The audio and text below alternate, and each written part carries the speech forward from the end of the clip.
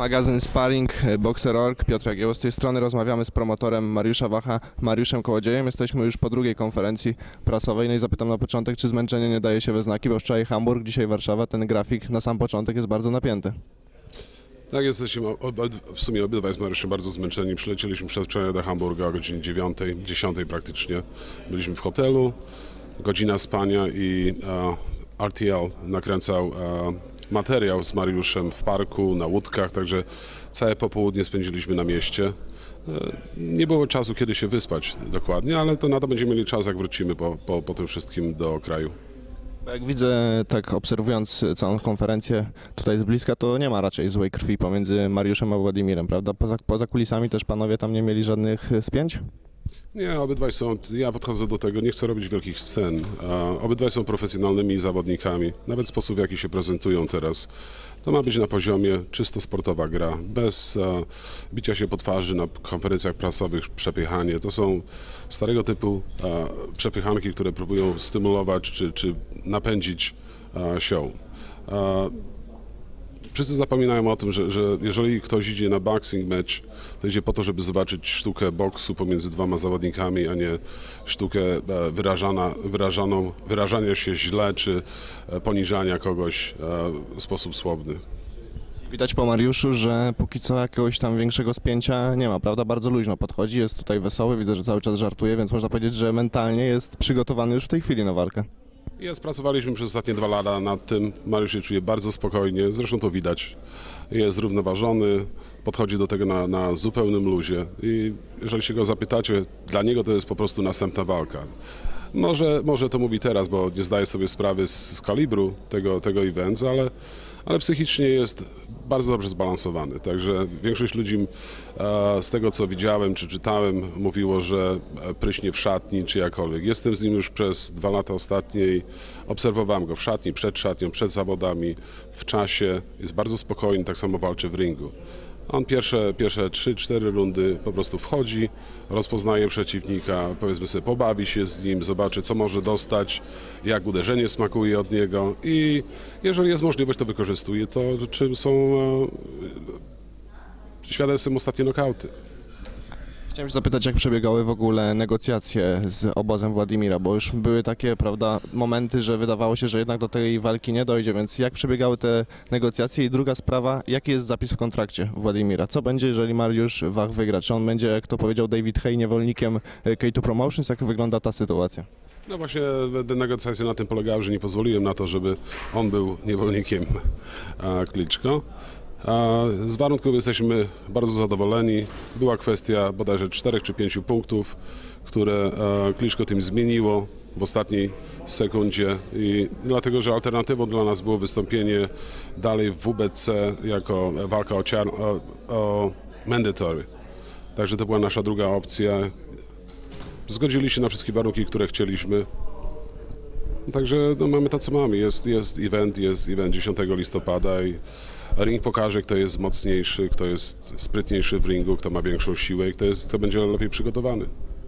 Dowiedzieliśmy się dzisiaj na konferencji prasowej, że Mariusz e, ostatnie 6 tygodni przed walką spędzi w Polsce, czyli można powiedzieć, że nie będzie błędu Tomasza Adamka, tak, który przygotowywał się w Stanach, a potem pamiętamy te tłumaczenia, tak, że nie, nie zdołał się przygotować e, pod względem takim zmiany czasowej i tak dalej, więc może troszeczkę jak będą te przygotowania wyglądały w Polsce, czy będą współpraca z jakimiś na przykład polskimi trenerami, czy ewentualnie może sparring partnerzy jacy będą, no i przede wszystkim wiemy, że w górach, tak, więc może tutaj troszeczkę przybliżmy tę sytuację przygotowań ostatnich 6 tygodni przed walką z Władimirem. E, Przylatujemy tutaj na, na rozpoczęcie kempu. Praktycznie przylatujemy na galę e, do Wrocławia, gdzie wystąpi jeden z naszych zawodników, Kamil Łaszczyk, e, całą ekipą z Global Boxing. Zaraz po zakończeniu tej gali Mariusz ze swoim trenerem, ze swoją grupą wylatuje w góry, gdzie będzie się przygotowywał. E, Będę starał się również o to, ażeby pomagał w tym wszystkim Piotr Wilczewski, który w przyszłości prawdopodobnie będzie współpracował na terenie Polski z nami, z naszą grupą, jako trener. Sparring partnerów planujemy około 6-7. Część zostanie przywieziona ze Stanów Zjednoczonych. E, Od przyszłego tygodnia zaczniemy już e, szukać, rozmawiać z zawodnikami tutaj na terenie Europy.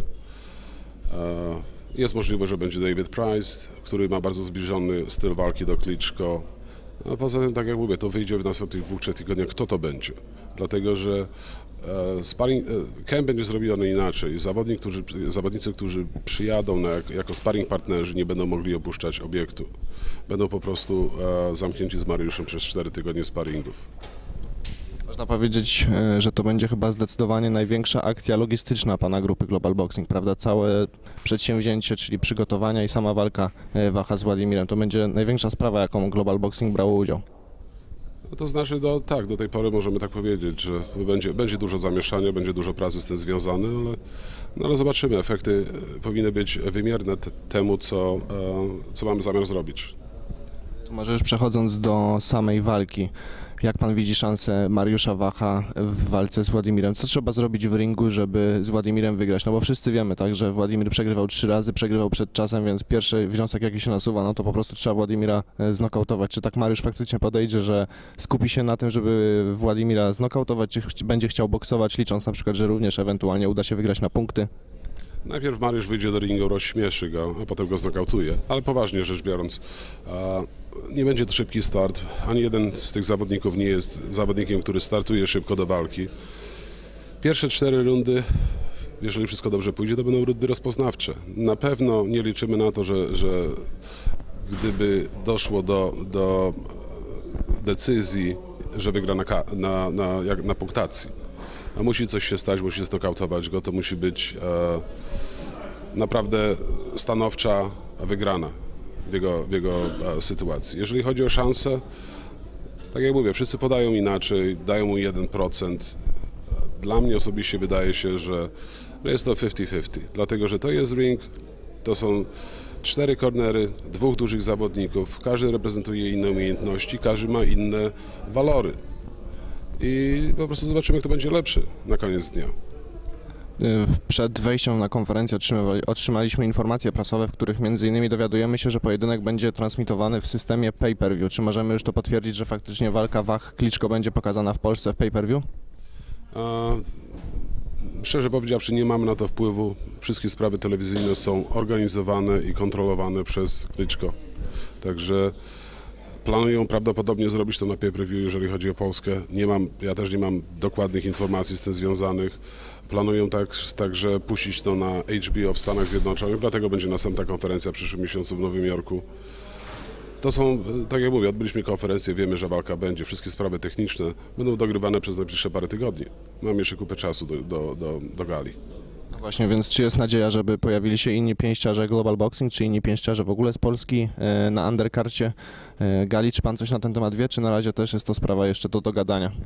To znaczy, wstępnie dogadaliśmy się już, e, jeżeli chodzi o to. Będzie dwóch zawodników, wystąpi Michał Chodecki, wystąpi e, Patryk Szymański na undercard.